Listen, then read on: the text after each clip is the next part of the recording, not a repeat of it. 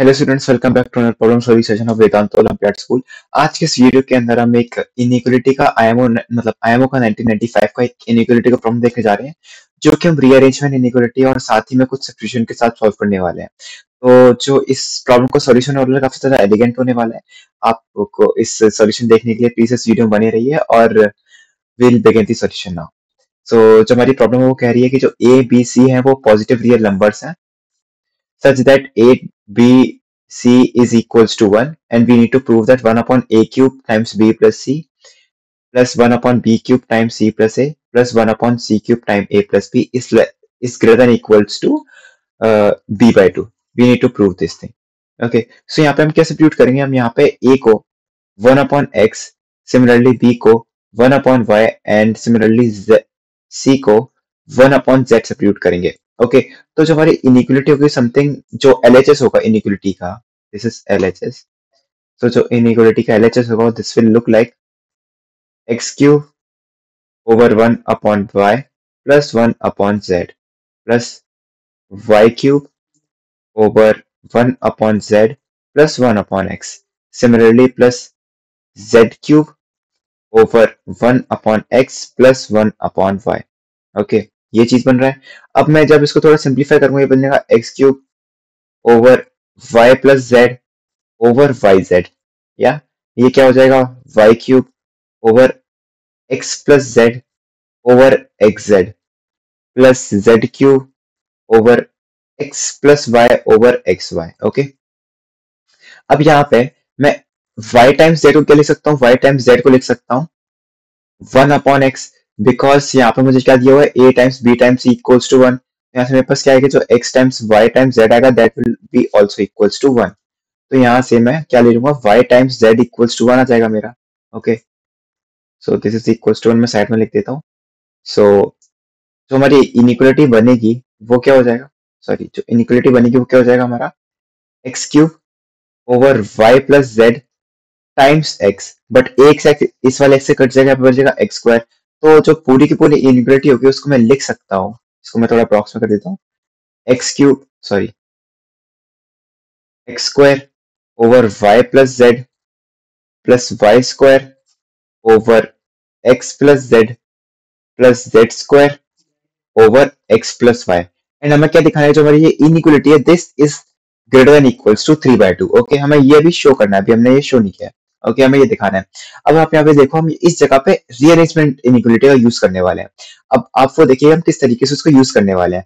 तो अब मैं एक ऑर्डर डिफाइन करता हूँ एक्स वाई जेड के बीच में। तो मैं डिफाइन करता हूँ कि x is greater than equals to y greater than equals to z ये ऑर्डर डिफाइन करता हूँ। ओके तो यहाँ से मेरे पास क्या आएगा?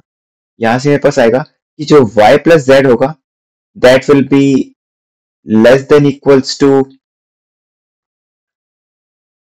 x plus z and that will be less than equals to x plus y. Because यहाँ पे मेरा जो x है, that is maximum and y is second maximum and z z is minimum. तो जो y प्लस जेड होगा, वो minimum सम हो जाएगा और जो x प्लस वाई होगा, वो मैक्सिमम सम हो जाएगा और साथ ही में जो x प्लस जेड होगा, वो बीच का सम हो जाएगा ओके तो ये चीज़ आएगी मेरे पास। तो यहाँ से मेरे पास क्या आएगा? और मतलब इस ऑर्डर को मैं उल्टा भी लिख सकता हूँ कि जो x प्लस वाई है that is greater than equals to x plus z, that is greater than equals to y plus z. ये मैंने ऑर्डर डिफाइन कर दिया। अब यहाँ पे अगर मैं इन दोनों का मल्टीप्लाई करूँगा तो मेरे पास मैक्सिमम आ रहा होगा। ओके तो यही हम रीअरेंजमेंट इनिक्वालिटी यूज़ करेंगे। तो यहाँ पे हम क्या करेंगे? x, y, z लिखेंगे। और यहाँ पे हम इसका मल्टीप्लाई करेंगे x प्लस वाई के सॉरी एक और यहाँ पे। अब यहाँ पे मेरे पास क्या है कि जो वन अपॉन वाई है दैट इज़ ग्रेटेस्ट यहाँ से मेरे पास क्या आएगा? मैं इसको ही रब कर देता हूँ पूरा। ओके तो यहाँ पे मेरे पास क्या है कि जो y plus z that is minimum this will implies that जो one upon y plus z हो जाएगा that will be are maximum similarly जो one upon x plus z होगा that will be middle and similarly जो x plus Y जो कि maximum हो रहा था अभी तो similarly one upon x plus y हो रहा होगा मिनिमम तो अब यहाँ पे हम रीअरेंजमेंट इनिक्वलिटी का यूज़ करने वाले हैं। वो देखिए हम किस तरीके से रीअरेंजमेंट इनिक्वलिटी का यूज़ करते हैं। तो रीअरेंजमेंट इनइक्वालिटी क्या बोलती है कि अगर मेरे पास ऑर्डर डिफाइंड है, such that x1 is greater than equals to x2 greater than equals to x3 dot dot dot, up to greater than equals to xn, और मेरे पास एक और ऑर्डर डिफाइंड है दैट इज़ ओके मैं एक ही order के साथ काम करता हूँ तो सच दैट हमें तो हमारे पास क्या होगी जो x one x one x two x three dot dot dot up to x n और यहाँ पे आएगा x one dash x two dash x three dash dot dot dot up to x n dash this will be less than equals to x1 x1 x2 x2 up to xn xn. Okay तो जो sign है, ये इस sign का मतलब क्या होता है? This is nothing but summation of x1 into x1 dash sorry xi into xi dash where i is running from 1 to n. इस साइन का मतलब ये होता है। अब मैंने यहाँ पे क्या किया कि मैंने एक्स वन का इस मतलब इसका मैंने एक इसी के परमिटेशन के साथ मल्टीप्लीकेशन कर दिया। ओके तो उससे हो क्या जाएगा कि जो x1 डैश होगा, वो मैक्सिमम नहीं आ रहा होगा। तो जब मैं मैक्सिमम का मल्टीप्लाई मैक्सिमम के साथ मैक्सिमम के साथ करता हूँ और सेकंड लार्जेस्ट के साथ सेकंड लार्जेस्ट के साथ मल्टीप्लाई करता हूँ तो जो हमारा सम आ रहा होता है ना that will be our maximum sum तो जब मैं इसका प्रोडक्ट इसी की परमिटेशन के साथ करता हूँ तो जो ये सम होगा this will be always less than equals to x one square sorry x i square okay जहाँ पे मेरा एक्स वन का मल्टीप्लिकेशन x1 के साथ है, क्योंकि जो एक्स वन है दैट इज़ मैक्सिमम तो मैक्सिमम का मैक्सिमम साथ मल्टीप्लिकेशन होगा तो मेरे पास एक मैक्सिमम नंबर आ रहा होगा। तो इस तरीके से this is summation of x i whole square okay तो यहाँ से मैंने क्या देखा मतलब ये रीअरेंजमेंट इनइक्वलिटी का, ये सिंपल सा मतलब होता है। तो यहाँ पे आप ये देखो कि जो मेरे एक्स वाई जी है, वो ऑर्डर में डिफाइंड है। यहाँ पे मेरा एक्स है दैट इज़ मैक्सिमम वाई है second maximum z is third maximum similarly यहाँ पे one upon y plus z है मैक्सिमम और साथ ही में one upon x plus y है मिनिमम रीअरेंजमेंट इनइक्वलिटीज हमें क्या मिल रहा है कि जो summation of x i into sum permutation होगा that will be less than equals to summation of x i square होगा।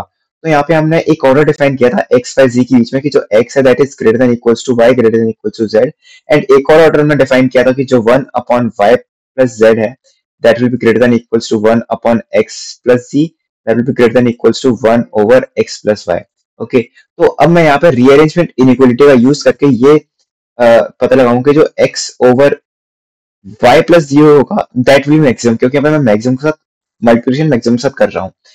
This will be greater than equals to y over x plus z and this will be greater than equals to z over x plus y यहाँ पे जो मैंने, यहाँ पे जो main बात है, वो क्या है कि जो हमने ऑर्डर डिफाइन किया है, जो हमारा ऑर्डर था कि जो x है that will be greater than equals to y greater than equals to z, उस ऑर्डर के अकॉर्डिंग हमारी ये इनइक्वालिटी फॉर्म हो रही है। अगर मैं यहाँ पे दूसरा ऑर्डर लेता कि y is let's say greater than equals to z and sorry less than equals z and greater than equals to x होता तो उसके अकॉर्डिंग मेरे पास एक दूसरी इनइक्वालिटी आ रही होती। बट जो मैंने ऑर्डर डिफाइन किया, उसके अकॉर्डिंग यहाँ पे चीज़ें चल रही हैं। तो मैंने यहाँ पे ये चीज़ आई। अब मैं यहाँ पे रीअरेंजमेंट इनक्लूड का यूज़ करूँगा एक और बार। X के साथ मैं मल्टीप्लाई करूँगा x over x plus z का। Y का मल्टीप्लिकेशन करूँगा मैं y over x plus z का।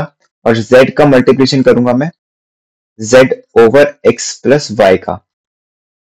And this will be greater than equals to जहाँ पे मैं x का मल्टीप्लीकेशन कर रहा हूँ y over x plus z के साथ। और y का मल्टीप्लिकेशन कर रहा हूँ मैं। z over x plus y के साथ में और यहाँ पे z का मल्टीप्लिकेशन कर रहा हूँ मैं x over y plus z के साथ में। एंड यहाँ पे मैं एक और इनइक्वालिटी साथ में फॉर्म कर रहा हूँ तो वो इनइक्वालिटी किस तरह होगी? Just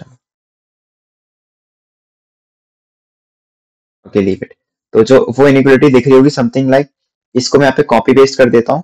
And this will be greater than equals to x का जब मैं मल्टीप्लीकेशन कर रहा हूँ, y over x plus z की जगह, z over x plus y के साथ में, और y का मल्टीप्लीकेशन कर रहा हूँ मैं x over y plus z के साथ में, और z का मल्टीप्लिकेशन कर रहा हूँ मैं x sorry y over x plus z के साथ में। तो जो ये दोनों इक्वेशन होंगे मुझे क्या देगा? Two into x square over y plus z plus y square over y sorry x plus z plus z square over x plus y is greater than equals to x.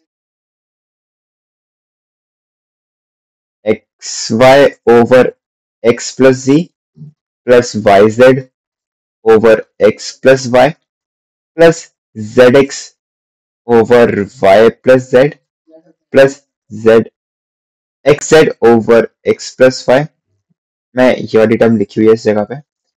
और साथ ही में यहाँ पे आएगा plus y x over y plus z और last में z x z y over x plus z तो अब यहाँ पे मैं सेम डिनोमिनेटर वाली टर्म्स को जब ऐड करूँगा तो मेरे पास क्या आएगा?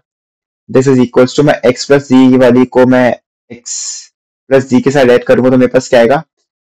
Y into z plus x over z plus x and यहाँ से ये कट जाएगा this is equal to y और यहाँ पे मैं वाई प्लस एक्स वाली को साथ, में वाई प्लस एक्स वाली को एड करूँगा तो यहाँ पे आएगा z into x plus y over x plus y and this is nothing but z और साथ ही में यहाँ पे आएगा मेरा x into y plus z over y plus z ये कट के यहाँ पे मेरे पास आएगा एक्स तो यहाँ पे मेरे पास आया कि जो मेरा एल एच एस था L H S 2 times LHS was equals to X plus Y plus Z. Okay. Because this is exactly equals to my LHS. LHS uh, according to this according to this uh, according to this equation to mera lhs aa that was equals to x square over y plus z plus y square over x plus z plus z square over x plus z and my lhs was successfully two times LHS sorry. Two times LHS was my greater than equals to x plus z, y plus z. And by AMGM inequality x plus y plus z is less than equals to 3 times xyz to the power one third. And since xyz is exactly equals to 1 so this term is 3 which implies that 2 times of LHS is less than equals to 3 which implies that LHS is greater than equals to 3 over 2 and this is exactly what we have to prove in our problem okay so we have to prove that 1 upon a cube times b plus c plus 1 upon b cube times c plus a plus 1 upon c cubes times a plus b is less than uh, is greater than equals to 3 over 2 and exactly and exactly वो चीज हमने prove कर दी है that LHS is exactly greater than equals to 3 by 2 and that's it for this video अगर आपको ये video पसंद आई है तो please subscribe to Vedantu olympiad school and more upcoming videos के लिए भी आप इस चैनल को सब्सक्राइब कर सकते हो। अगर आपको कोई डाउट है तो आप मुझे वो कमेंट सेक्शन में पूछ सकते हो। And thank you